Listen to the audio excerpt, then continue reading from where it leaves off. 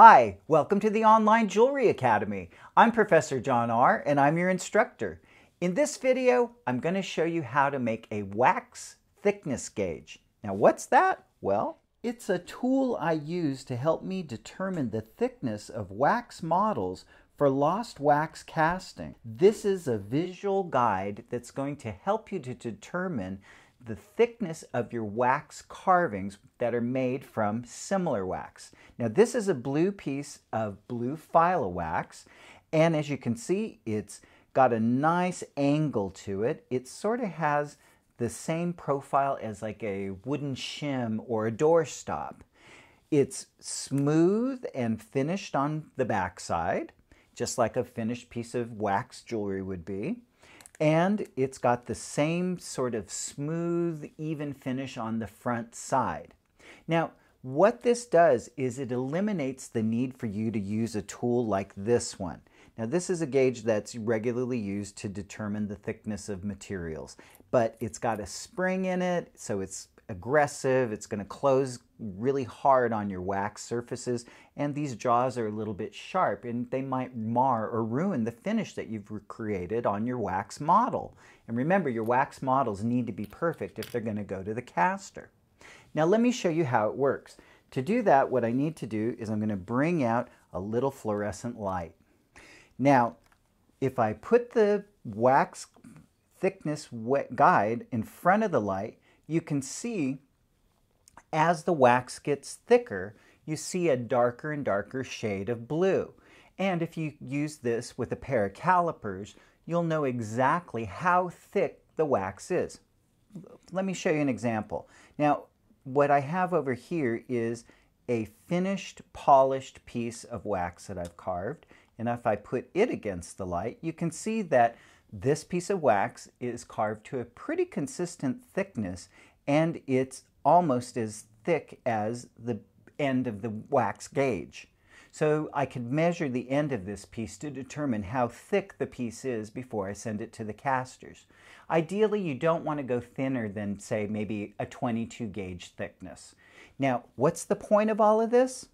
Well, the purpose for it is to be able to determine if you're sending a model to the caster that is of the correct thickness and that you have a uniform thickness.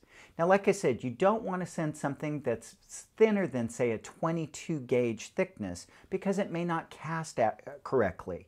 If a model has thick and thin spots, the molten metal may not be able to fill the thinner spots, and then you'd have a void in your, your finished piece, and you don't want that. So, let me show you how to make one.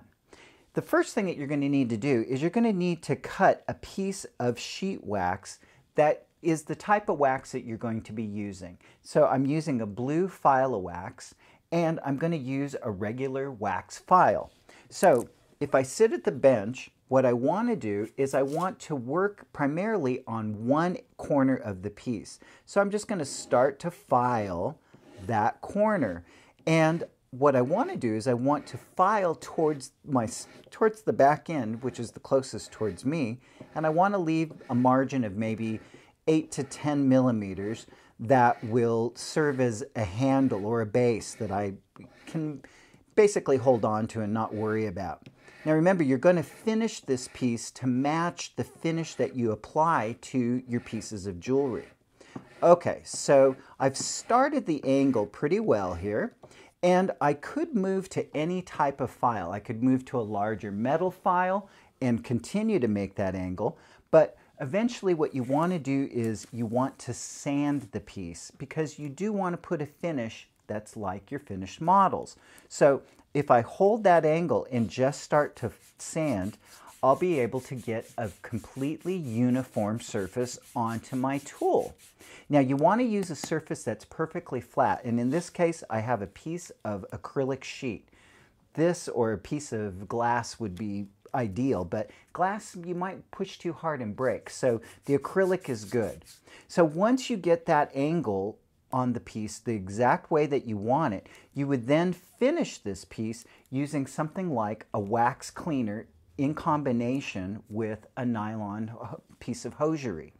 The hosiery is a bit abrasive and the cleaning solution somewhat melts the surface in order to clean it and shine it. And that way you'll end up with something that will work perfectly.